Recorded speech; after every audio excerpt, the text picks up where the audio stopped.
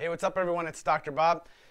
In the new year of 2017, I'm going to start nerding out a little bit more than normal on you um, and actually showing you some studies that prove how amazingly effective chiropractic is. So, this first one is the 2013 study from the Journal of Spine called The Early Predictors of Lumbar Spine Surgery After Occupational uh, Back Injury.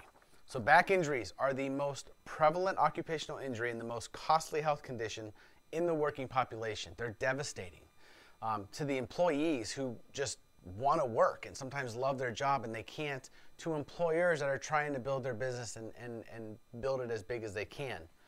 Uh, it can be very detrimental. So, workers whose first visit was to a chiropractor had significantly lower odds of surgery, only by 78%. So, 42.7% of workers who first saw a surgeon had surgery within three years.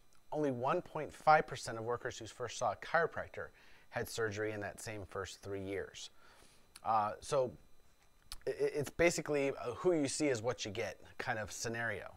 Um, they concluded that uh, seeing a chiropractor as the first provider for a back complaint significantly reduced the odds of surgery, roughly by 78%. So that we try to be the gatekeeper to a lot of injuries. Because if, number one, if that person comes in right away and doesn't procrastinate that the inflammation and swelling and adhesions from building, we have a better result at conservatively getting the pain gone and the problem gone, even if it's a disc condition. Um, the longer you wait, and then now it starts to build and it's devastating, drastic pain, you end up seeing the surgeon, you're going to go that route. So when I ask you, if you know of anybody who is suffering, if anybody has an injury in, in, in this time of the year, anybody who has a car accident, um, have them come to see me right away. I get great results, and I'd love to help them and never have that risk of surgery in their life so they can live a great life and stay on their job.